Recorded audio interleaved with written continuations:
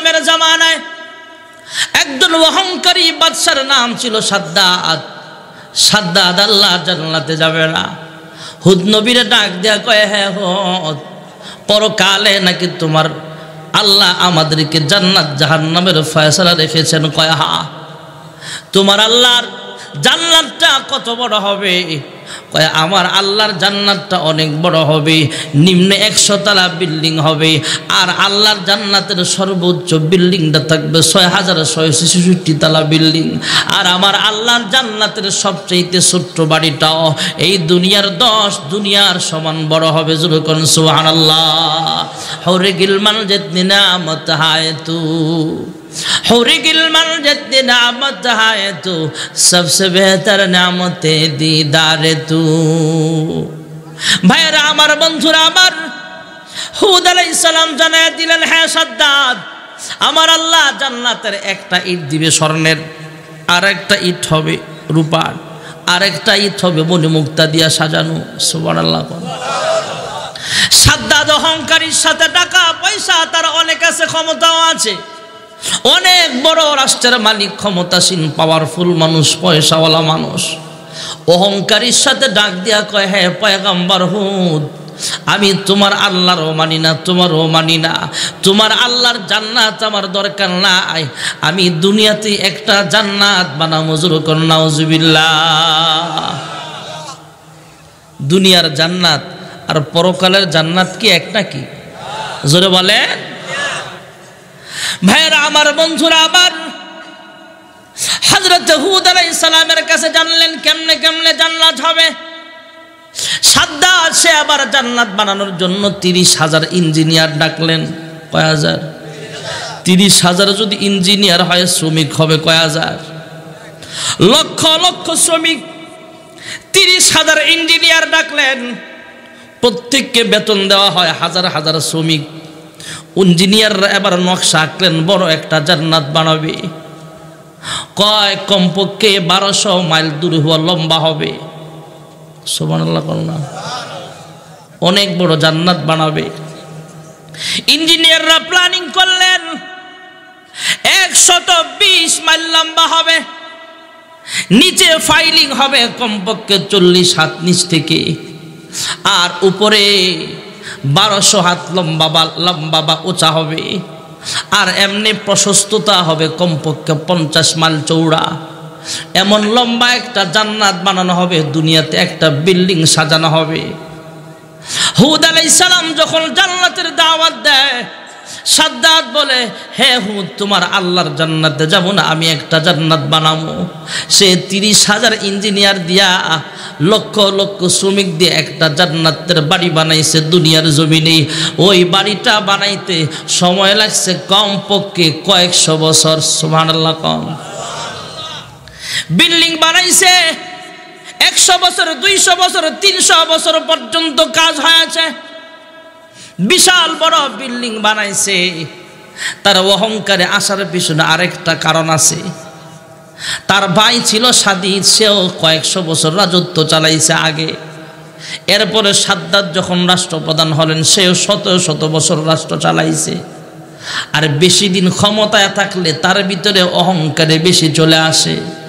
ঠিক না বে, ঠিক জোরে কর বেশি দিন ক্ষমতায় থাইকা অহংকার চলে আসছে। হ্যাঁ হুদ, তোমার আল্লাহর জান্নাত দরকার নাই।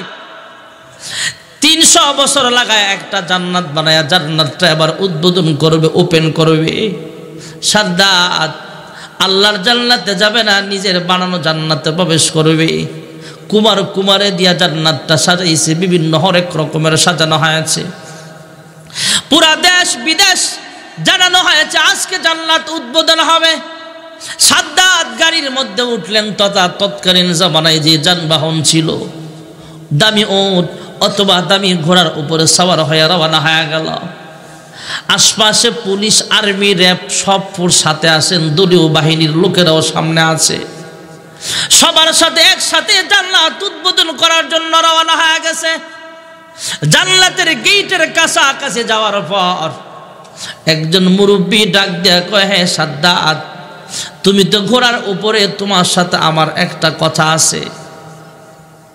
সাদ্দার ধমক দিয়া কয় হ্যাঁ সিকিউরিটি গার্ড এই বুড়া মানুষটা আমার আগে এই গেটের মধ্যে কেমনে আসলো? তোমরা কেমন পাহারা দাও?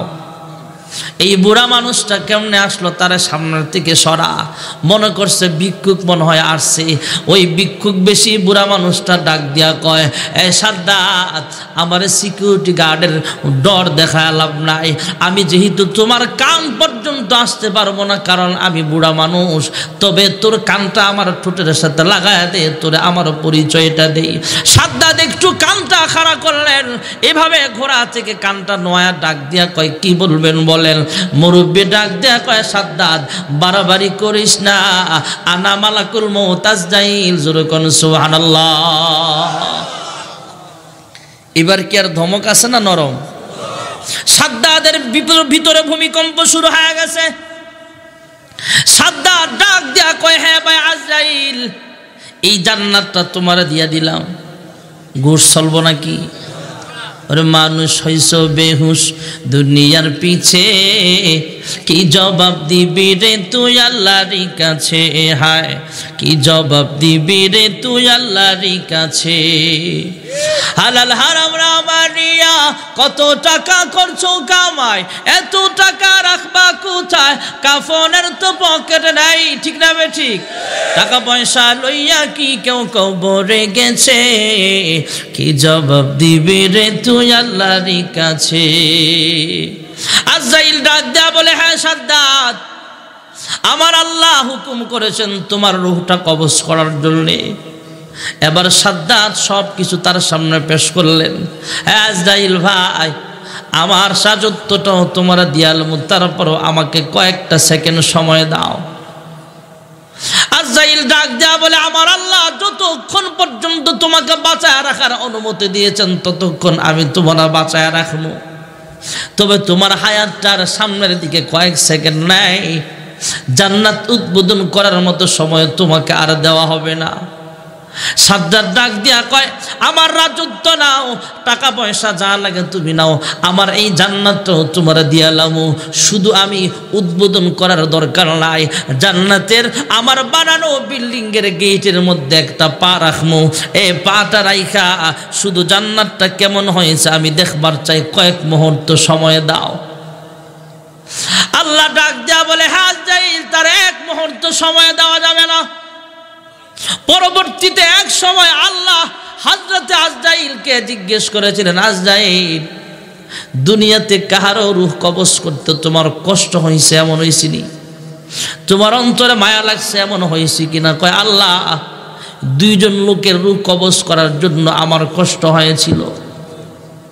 একজনকে একজন হলো সাগরের মাঝখানে লম্বা একটা বিশাল বড় জাহাজ চলতেছে জাহাজ চলতেছে চলতেছে, হঠাৎ করে জাহাজটা ডুইবা সব মানুষ মারা গেছে। কিন্তু একজন গর্ভবর্তী মহিলা বেঁচে আছে, ভাইসা আছে। একটা কাঠের তখতার উপরে এইভাবে ধরে আল্লাহ তারা বাঁচায় রাখছে। এই মহিলা এই তখতার উপরে ধইরা বাইচা আছে। এই মুহূর্তে মহিলার পেট ব্যথা শুরু হয়ে গেছে, প্রসব বেদনা আরম্ভ হয়ে গেছে। বাচ্চারা জন্ম হয়েছে। বাচ্চারা জন্ম হয়ে দুধ পান করতে পারে নাই। ভাসতেছে ভাসতেছে এই বাচ্চাটা জন্ম হওয়ার পর পর আল্লাহ আপনি আমাকে হুকুম দিয়েছিলেন সন্তানের মার যান কবজ করার জন্যে। আল্লাহ, আমার সেদিন অন্তরে অনেক মায়া লাগছে। মা কাঠের তক্তার উপরে বাঁচতে বাঁচতে সন্তান জন্ম দিল। এই বাচ্চাটা কেমনে বাঁচবে, কেমনে খাবে? আল্লাহর হুকুম পালন করতে হবে। আল্লাহ কয়, এই বাচ্চার চিন্তা তোমার করা লাগবে না। এই বাচ্চার রিজিকের ফায়সালা আমি আল্লাহ করব। জুরুকুন সুবাহ আল্লাহ মায়ের রু কবজ করল, আর বাচ্চাটা তখতার উপরে শোয় আজরাইল চলে গেছে। পরবর্তীতে আল্লাহ কুদ্দুতি ভাবে এই তখতাটা পানির ঢেউর সাথে বাসাইতে বাসাইতে একটা লাউ গাছ অথবা পুরাতন একটা বাগানের পানির নিচে নেয়া আল্লাহ ঠেকায়া দিছে। আর নদীর কিনারায়, সাগরের কিনারায় একটা বাঘ গর্ভবর্তী বাঘ, তার বাচ্চাগুলো প্রসব হওয়ার পরেই বাচ্চাগুলো মারা যায়। কিন্তু বাঘের স্তনে তো দুধ বরাদ্দ আছে, বাচ্চাদের জন্য ছিল এটা, কিন্তু বাচ্চা তো মারা গেছে, খাইব কে? এই মা বাঘটা এবার সমুদ্রের কিনারায় যায়, বাতাস খায়। আর বাতাস খাইতে খাইতে ফাঁকি দিয়া বাচ্চাটার ঠোঁটটা আল্লাহ। ওই যে বাঘের ওলানির কাছে নিয়ে দিলেন। দুধ পাইছে, বরাবর পায়া বাচ্চারা দুধ খাইতেছে। বাঘটাও আরাম পাইতেছে, বাঘেরও ভালো লাগতেছে। বাঘটাও আর সরে না। সময় সময় এখানে আইসা বসে। এই শিশু বাচ্চাটারে বাঘ দুধ খাওয়ায় জুরুকন সুবাহ আল্লাহ আজাইল বলে, আল্লাহ, ওই মার রু কবজ করতে আমার কষ্ট হয়েছিল। আরেকবার আল্লাহ জিজ্ঞেস করছে, আরেকজনের কোনটা কষ্ট হয়েছে? ওইটা হলো সাদ্দাত যখন জান্নাত উদ্বোধন করতে যাবে। আল্লাহ কয়, উদ্বোধন করতে দেওয়া হবে না। আজাইল মনে মনে কয়, দুইটা সেকেন্ড সময় দিলে আর কি হইতো? জান্নাতটা উদ্বোধন করেই মারা যাই তো পরকালে তো আর তার কপালে জান্নাত নসিব হবে না। কয়েক সেকেন্ড সময় আল্লাহ দেয় নাই। একটা ও, উটের উপরে অথবা ঘোড়ার উপরে একটা পা, আর একটা পা জান্নাত তার দুনিয়ার বিল্ডিংয়ের গেটের মধ্যে রাখা অবস্থায়। ওই হালতে আল্লাহর হুকুমে হজরত আজরাইল জান কবজ করলেন জুরুকন আল্লাহ আজরাইল ডাক দেখো আল্লাহ সাদ্দার যখন জান্নাত উদ্বোধন করবে, কয়েকটা সময় সেকেন্ড সময় দিলে তার আর কি ক্ষতি হইতো আপনার? তখন জান্নাত উদ্বোধন করতে তার কত টাকা খরচ হয়েছে? হাজার হাজার ডলার খরচ কইরা জান্নাতের বিল্ডিং বাজাইছে দুনিয়াতে। একশো বিশ মাইল লম্বা, পঞ্চাশ মাইল চৌড়া করে এত বড় বিল্ডিং বানাইছে, কিন্তু উদ্বোধন করার সময় দেন নাই। তার জন্য মায়া লাগছে। এবার আল্লাহ কুদ্রুতে আওয়াজ দেয়া কয়, আজরাইল, এবার আসল ঘটনা শোনো। তুমি তো সমুদ্রের মধ্যে মার যান কবজ করে চলে আসছো। আর এই শিশু বাচ্চাটার আমি আল্লাহ দুধ খাওয়ায়া পালছি, বাঘের দুধ। তার শরীরে কোনো অন্য কোনো মাখলুক আক্রমণ করতে দেই নাই। আমি আল্লাহ কুদ্রুতি হাত দিয়ে হেফাজত করেছি। সুমান আল্লাহ এই বড় হয়া যুবক হইল ইয়ং ম্যান হওয়ার পরে সে রাজত্ব পাইল। কয়েকশো বছর রাজত্ব চালাইবার পর আমার পয়গম্বর হুদের সাথে সে কম্পিটিশনে গেছে। তর্কাতর্কিতে জড়ায়া বলে, আমি তোমার আল্লাহর জান্নাতে যাব না।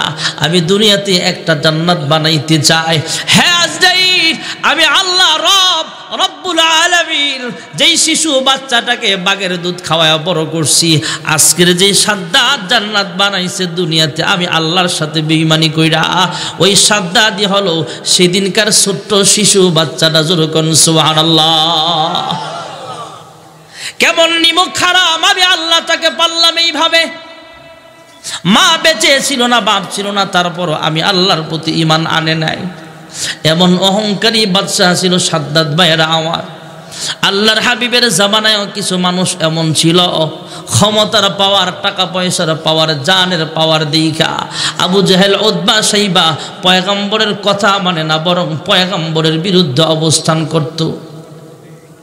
এখনও চল্লিশ থেকে পঞ্চাশ জন মুসলমান হয় নাই ভাইয়েরা আমার।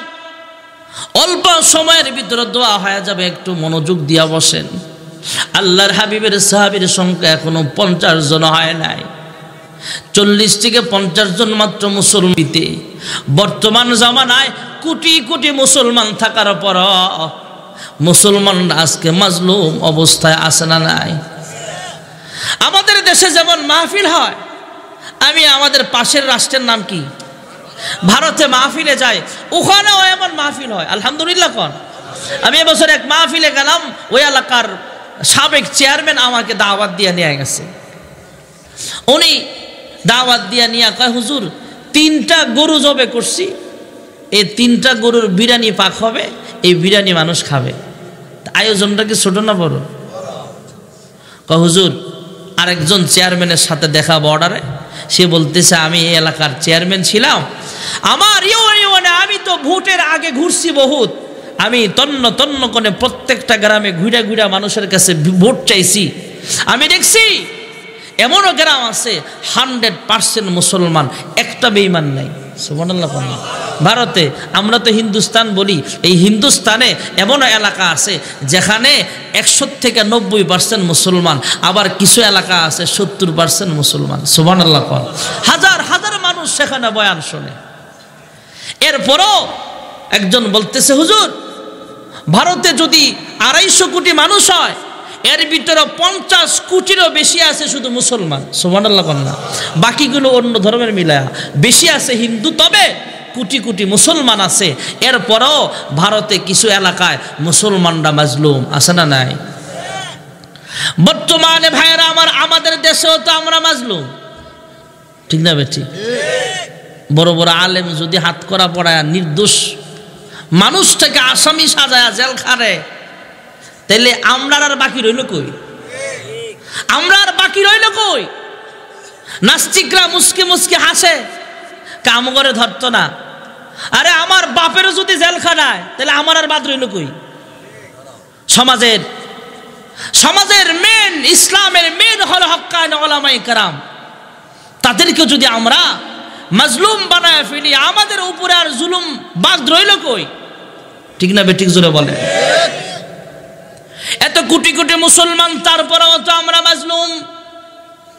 আর যখন মাত্র চল্লিশ থেকে পঞ্চাশ জন মুসলমান ছিল, তখন কি হালাত হয়েছিল? আল্লাহর হাবিব খবর পায়, গরিব সাহাবাই কারামদের ঘর বাড়ি বাংচুর করা হয়। গরিব সাহাবাই কারামদের উপরে জুলুম করা হয়। নব মুসলিমরা অনেকে প্রকাশ করতে পারে না সে যে মুসলমান হয়েছে। আল্লাহর রহমাতুল্লিল দোয়া করে আল্লাহ। দুই অমর একজন হলো অমর ইবনুল আরেকজন হলো আবু জাহেল। দুইজনের একজনকে ইসলামের জন্য কবুল করিয়া নাও যেরকম সুবহানাল্লাহ। এদিক দিয়ে মক্কাতুল মুকাররমায় পরামর্শ চলতেছে কাফের বেদিনলেন গোপন বৈঠক চলতেছে, গোপন বৈঠক পরামর্শের সভাপতি হল আবু জাহেল। আবু জাহেল ডাক দেয়া কয়, তোমরা বুদ্ধি দাও, কি করা যায়?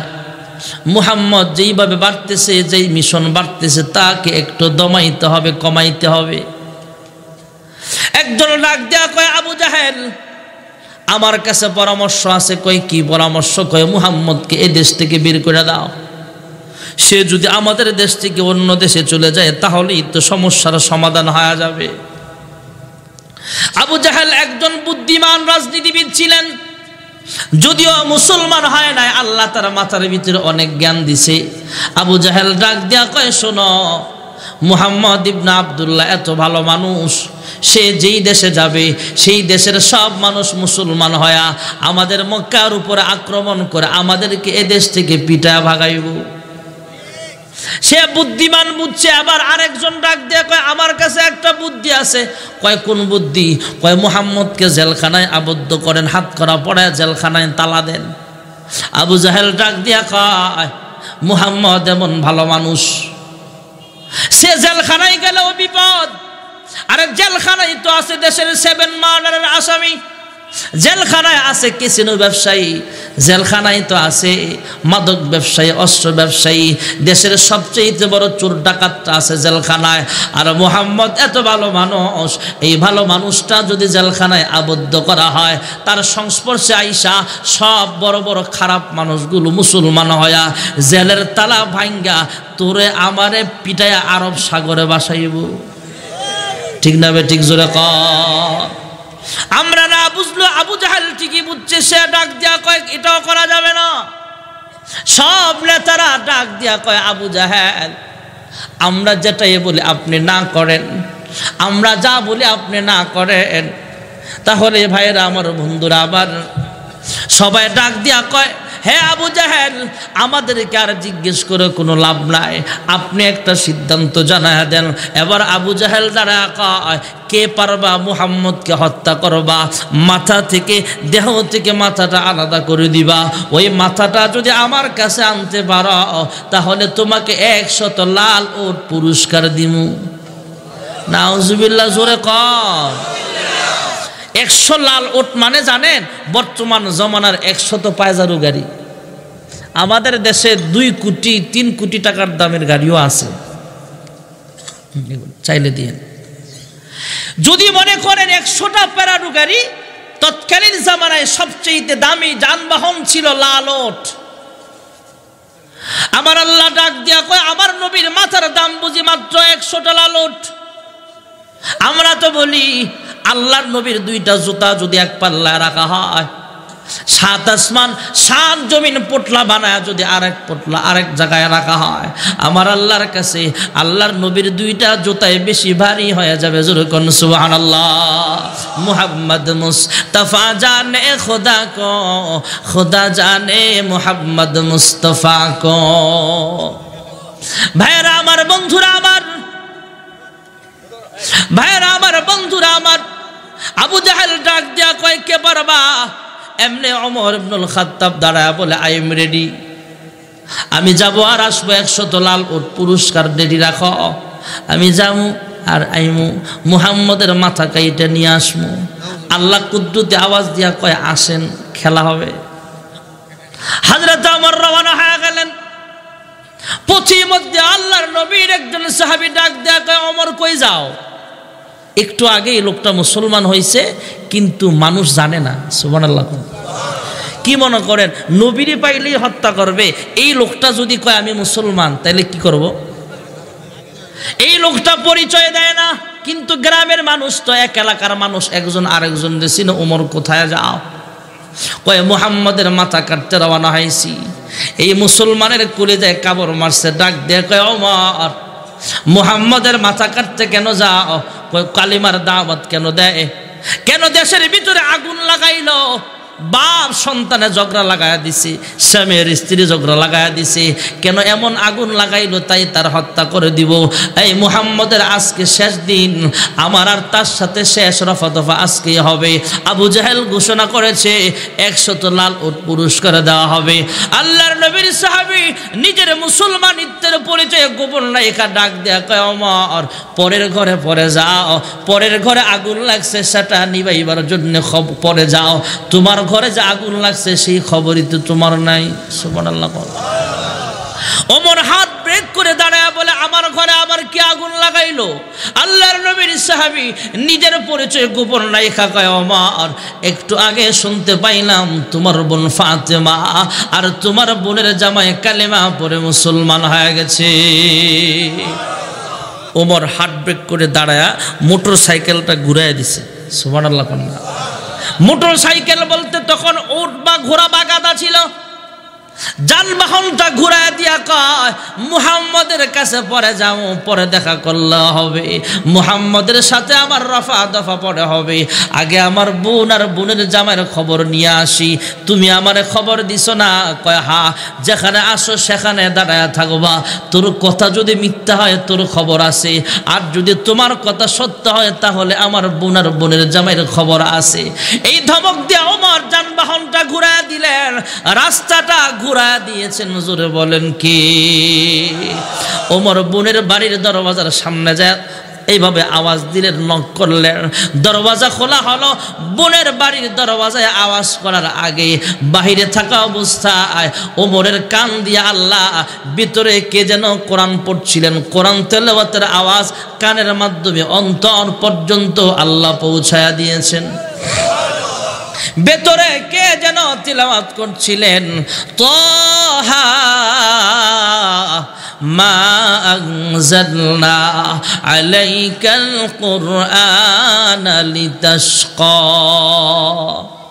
এবারে দরওয়াজায় খোলা হলো, দরওয়াজায় আওয়াজ দিলে দরওয়াজা খোলা হলো।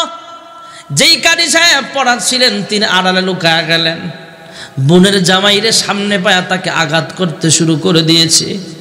তলোয়ারের উল্টা পিঠ দিয়ে আঘাত করে কালার ধরে চট্টাপ্পর গুড়া মাসে আর বলে এই বোন জামাই, তুমি কোন সাহস মুসলমান হইলা? এমনি এবার বোন সামনে আইসা কয়, হে ভাই অমর আমার ভাই হয়া আমার আঘাত করবা, আমি কিন্তু বরদাস্ত করব না। এবার বোন কেউ মারতেছে, বোনের জামাই কেউ মারতেছে। অমরের বোন ফাতেমা রক্তাক্ত চেহারা নিয়ে ডাক দিয়া কয়, হে ভাই অমর তোমার শরীরে যেই মায়ের রক্ত, আমার শরীরেও কিন্তু সেই মায়ের রক্ত। তুমি যেই মায়ের দুধ পান করেছ, আমিও কিন্তু সেই মায়ের দুধ পান করেছি। আমার মাইরা কোনো লাভ নাই, আমি কিন্তু তোমার ভয় পাই না সোবান আল্লাহ কর।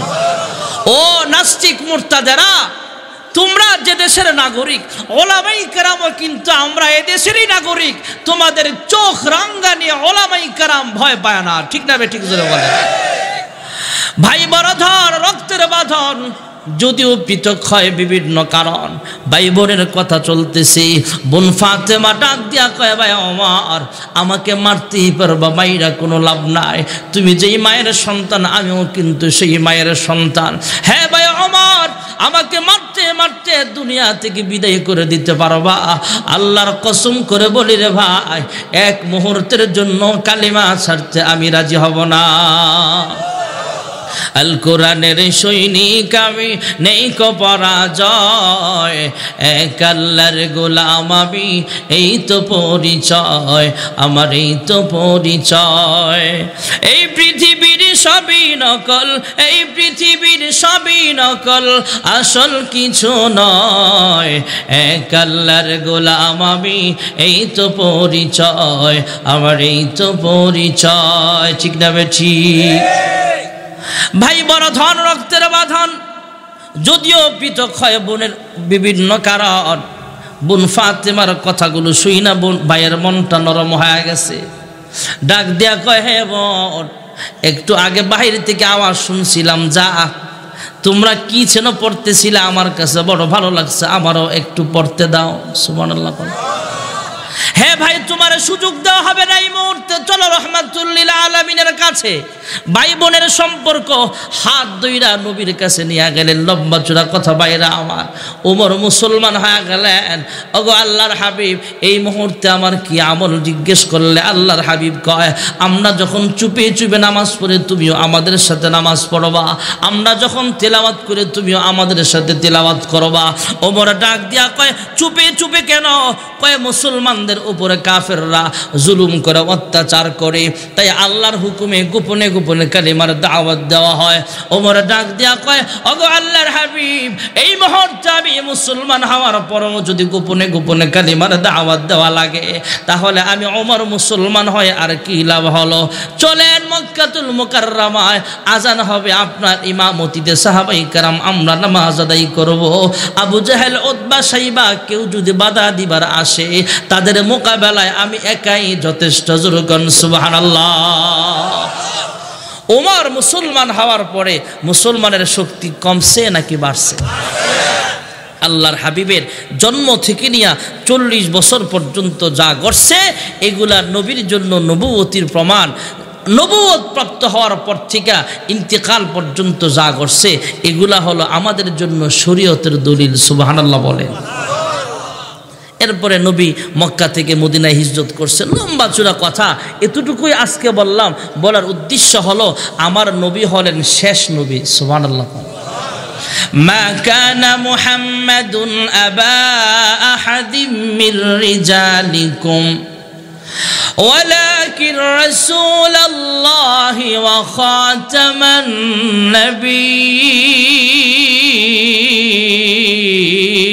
النبيين আমার নবীরে আল্লাহ কোনো পুরুষের বাবা বানায় নাই। চিকন কথা, খেয়াল করে বুঝবেন, মুনাজাত হয়ে যাবে। আল্লাহর নবীর ছেলে হয়েছে, মেয়েও হয়েছে। তারপরও আল্লাহ তালা ছেলেগুলোর হায়াত কমায়া দিছে, মেয়েগুলোর হায়াত লম্বা করে দিয়েছে। একটু আগে যে বলছিলাম, আবুল কাসেম বলতেন আম্মাজান খাদিজা আল্লাহর হাবিবকে। কেন বলতেন? আল্লাহর হাবিবের কাসেম নামে একটা ছেলে ছিল, ছোট্ট সময় মারা গেছে। আল্লাহর নবীকে আম্মাজান খাদিজা ডাকতেন, হে কাসেমের আব্বা, আবু অর্থ বাবা, কাসেম হল ছেলের নাম। হে কাসেমের পিতা সুহান আল্লাহ এখন বলবেন, হুজুর, আল্লাহর হাবিবের ছেলেগুলো আল্লাহ অল্প হায়াত কেন দিলেন? এর রহস্য মুফাসরিনগণ লিখেন, আমার নবীর সন্তান যখন বড় হবে, ইব্রাহিম নবীর সন্তানও বড় হয়েছে বড় হওয়ার পরে আল্লাহ নবুবতী প্রদান করছে। আমার নবীর ছেলে বড় হইলে ইব্রাহিম নবীর সম্মানের সাথে তুলনা করতে গেলে নবীর সন্তানকেও তো নবুবতী দেওয়া লাগে। একজন মানুষ নিজেও চেয়ারম্যান, ছেলেও চেয়ারম্যান। আর আমি নিজে শুধু চেয়ারম্যান। তা আমার চাইতে ওনার দাম কম না বেশি? বেশি না? কারণ ওনার নিজেও চেয়ারম্যান, সন্তানও চেয়ারম্যান। আর আমার নবীর ছেলে যদি বড় হয় আর ইব্রাহিম নবীর সম্মানের সাথে মিলাইলে তাহলে ছেলেরাও তো নবুবতী প্রদান করা লাগে। তাহলে ছেলেরও যদি নবুবতী দেয়, তাইলে আমার নবী শেষ নবী আর হইবে কেমনে?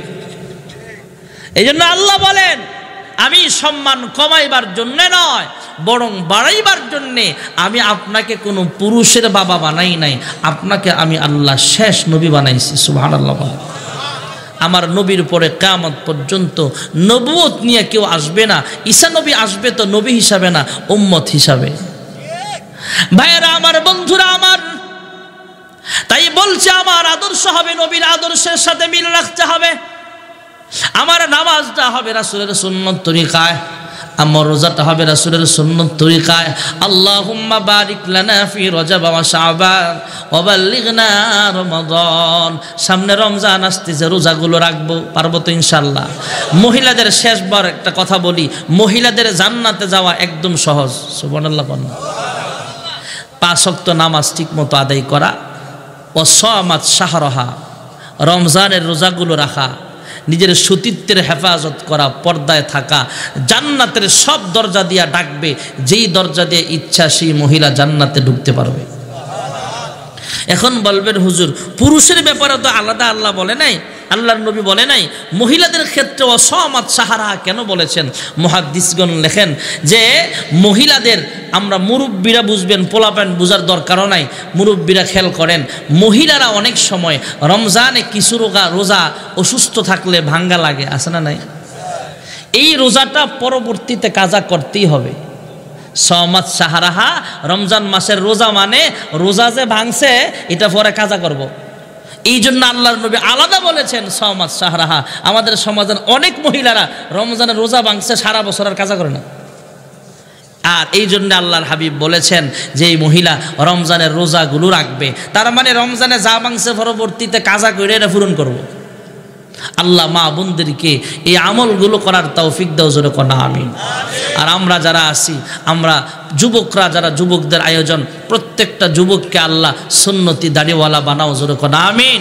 ভাইয়েরা আমার, বন্ধুরা আমার, এই মাহফিল রানীদিয়া নগরপাড়া ইসলামী যুব সমাজের উদ্যোগে আয়োজিত মাহফিল। আপনাদের আজকের শেষ দিনের শেষ অধিবেশন আল্লাহ যেভাবে চায় সেভাবে হবে, বান্দা যেভাবে চায় সেভাবে হয় না। আপনারা জানেন অবশ্যই, পোস্টারেও নাম লেখা আছে হজরত মাওলানা আবু রাইহান বগুড়ার। উনি ছিলেন আজকের শেষ ওয়াইজ, আখির মোনাজাত করতেন। আল্লাহ কয়, না, ওনারা দিয়া হবে না। যে কোনো উনি অসুস্থ অবস্থায় নাকি আছেন, আসতে পারে নাই। এই জন্য গতকাল রাতে আমার মাহফিল ছিল খুলনা বিভাগে। এর আগের দিন ছিল রাজশাহী বিভাগে। তো ওখান থেকে আমি রাতারাতি ঢাকা আসছি। আজকে আপনাদের এখানে আসলাম। হঠাৎ করে আমার ভাই কি যেন নাম? সোহাগ ভাই যুব সমাজের পক্ষ থেকে। রাত্রে আমি কত আমার কল দেন তো দেখি। আমি আবার পোস্টারটা পাঠাইছি, তখন জালালি সাহেবের নাম দেখলাম। আজির ইসলাম জালালি সাহেব, পুরানো বক্তা, ওনার সাথে তো অনেক প্রোগ্রাম করি।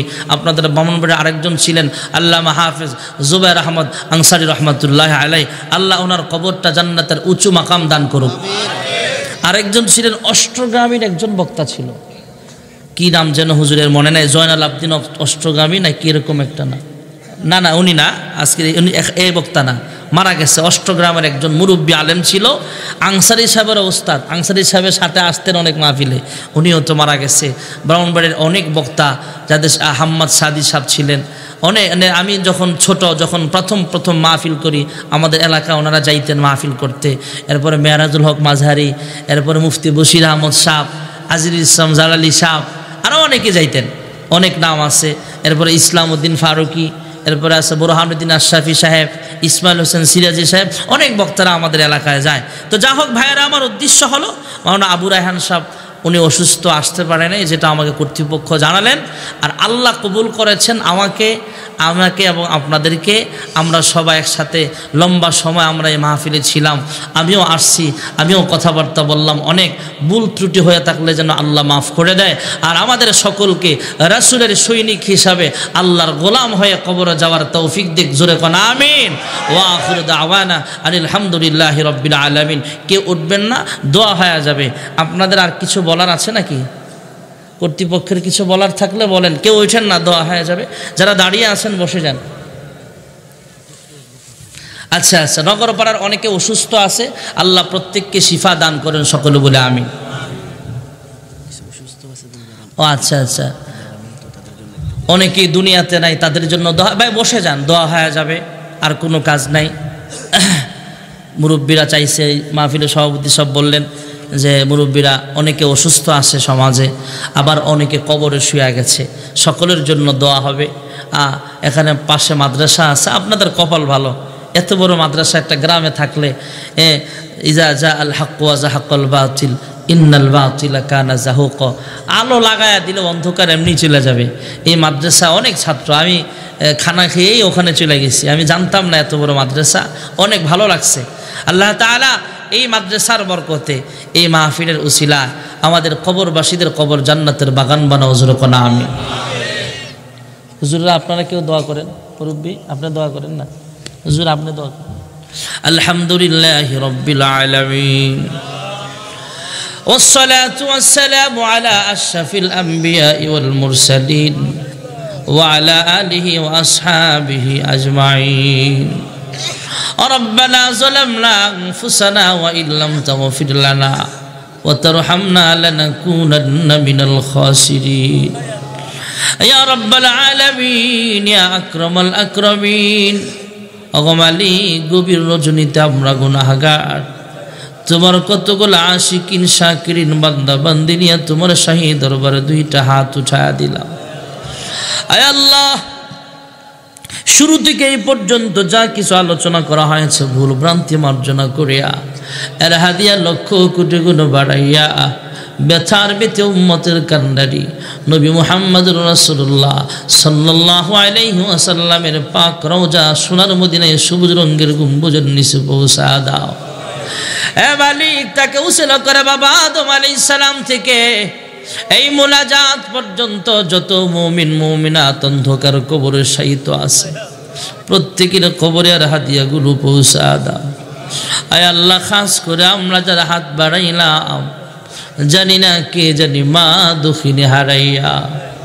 প্রাণের আব্বা যান হারায়া, এতিমের মতো হাত বাড়াইছে গো আল্লাহ। জানি না গো মালিক, কার মা বাবার কবরে জাহার নামের সাপ কামড়াইতেছে। জানি না গো আল্লাহ, কার মা বাবার কবরে জাহান নামের আগুন দাও দাও করে জ্বলতেছে। আয় আল্লাহ, তাদের পক্ষ থেকে মাফ চাই, ক্ষমা চাই। আজকের মাহফিলের উসিলায় তাদের কবরগুলো জান্নাতের বাগান বানায় দাও। রব্বির হামহুমা কামা রব্বায়ানি সগীরা। আয় আল্লাহ, আমরা গুনাহগার, তোমার নাম গফফার। আমরা গোনা করতে করতে আমাদের সাদা দিল থেকে আমরা কালো বানায় ফেলেছি। আয় আল্লাহ আবার মতো গুনাহগার আসমানের নিচে জমিনের উপরে আর একজনও নাই। আমার গুনাহের খবর যদি আমার আম্মা জানে, কোনোদিন সন্তান বলে ডাক দিবে না। আমার গুনাহের খবর যদি বিবি জানতো, তাহলে এক করে ঘুমাইতো না। আমার গোনাহের খবর যদি দোকানদার জানে, আমার কাছে কেন বেচা করবে না? আমার গুনাহের খবর যদি ড্রাইভার জানতো, গাড়ির সিটে আমাকে বসতে দিত না। আমার গুনাহের খবর যদি রানী দিয়ার মানুষ শুনতো, তাহলে আমার বয়ান শোনার জন্য এভাবে বসে থাকতো না। আয় আল্লাহ, যেমনভাবে গুনাহ গোপন রেখেছ, গোপনে গোপনে আমাদের সকলের জিন্দিগির সব গুনাহ খাতাগুলো মাফ করে দাও। আদর রিয়ামানু সাল্লাহ বানায়া, কেমনে দিবা জাহান নামে ফেলিয়া? গুনার বোঝা মাথায় লয়া, আমরা দেশ বিদেশে ঘুরি। কোন দিন জানি আজরাইলের হাতে ধরা পড়ি। কবরেরই আজাব যদি মানুষ দেখিত। ঘর বাড়ি ছাড়িয়ারে পাগল হইত। তুমি ছাড়া কারি কাছে আমরা করি বড় দান তুমি বিনে কে বুঝিবে মনেরই বেদন। তুমি যদি মাফ না কর আল্লাহ বান্দারে, বলো তোমার বান্দা কার কাছে যাবে? আয় আল্লাহ, আমরা গুনাহগার, তোমার নাম গফফার। হ্যাঁ আমাদের যাওয়ার মতো আর কোনো জায়গা নাই। তুমি ছাড়া আমাদের মাফ করানো বলে আর কেউ নাই। আমাদেরকে ফিরাইয়া দিও না। সকলের জিন্দিগির সব গুণা খাতাগুলো মাফ করে দাও। আয় আল্লাহ, যারা টাকা দিয়া, পয়সা দিয়া সুপরামর্শ দেয়, এমন জান্নাতের বাগান সাজাইছে।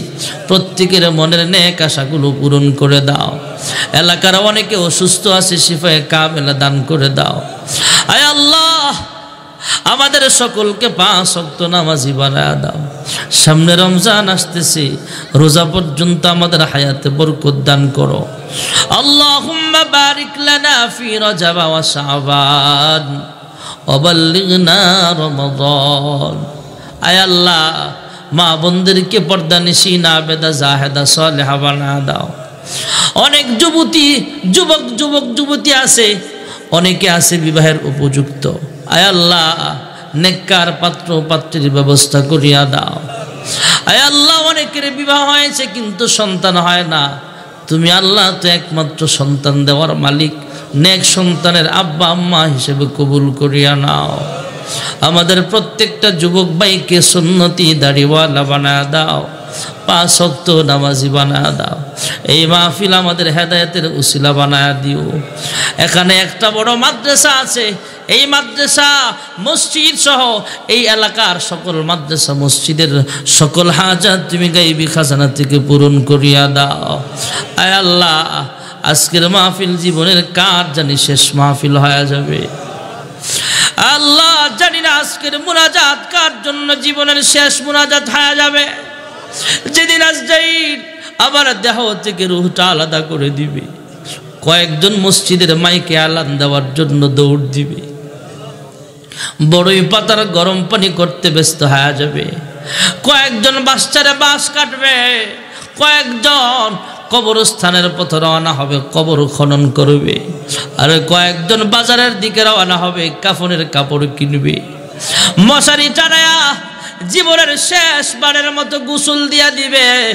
কাফনের কাপড়ের প্যাকেট বানায়া আমাকে কবরে শোয়াইবে। আয় আল্লাহ, কাফনের কাপড়ের প্যাকেট খাওয়ার আগে এহারামের দুইটা কাপড়ে নিজেকে জড়ায়া লাব্বাইক লাব্বাইক বলে বলে তোমার ঘরখানায় কাবার সামনে হাজিরা দেওয়ার তৌফিক দাও। আয় আল্লাহ, মক্কার মানুষ কত ভাগ্যবান। মন চাইলে মক্কাতুল মুকাররমার সামনে হাজির হয়ে যেতে পারে। মদিনার মানুষ কত ভাগ্যবান। মন চাইলে মদিনাতুল মুনাওয়ারার সামনে চলে যেতে পারে।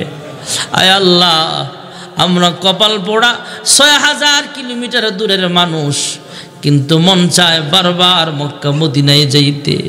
আয় আল্লাহ, বারবার মক্কা মদিনার মেহমান হবার সুযোগ করিয়া দিও।